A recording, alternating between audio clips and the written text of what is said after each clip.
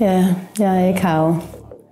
Men, men havet som symbol, det der med, kender du følelsen af at stå altså ved starten af havet, altså ved vandkanten, og alle de tanker, der ligesom opstår, jamen hvad, hvad er der for enden? Øhm, og, og det er den der sådan undren og søgen, hvad er der derude, og jamen, hvad er der i den bølge blå? Øh, og hvorfor er den hele tiden på vej, og er den på vej, og det er den samme bølge, der skyller op hver gang?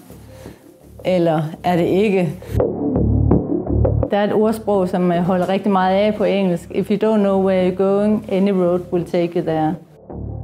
Hvad er det, der, der er i den bevægelse? Og vi er jo også i en eller anden form for bevægelse hele tiden, som vi ikke rigtig kan, kan fastholde eller beskrive. Og jeg tænker, det, måske det er det, jeg leder lidt efter, også i mine egne værker, det er at finde en måde at beskrive de her øh, spørgsmål.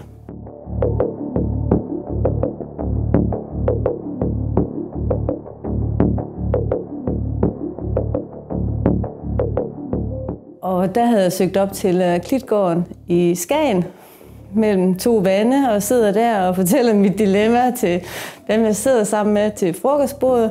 Og så kigger de på mig og siger, jamen Mette Maja, har du set, hvor du er? og der havde vi bare udsigten ud til det mest store, blå, gyngende hav, øh, som man kan forestille sig. Og så tænkte jeg faktisk, det der med at, at løbe væk fra noget, i stedet for at bare prøve at omfavne det. Altså, det her, det, det, er, det er det, jeg arbejder med, og det er det, jeg kan. Det, det er min interesse, min længsel, min lyst, min øh, inspiration.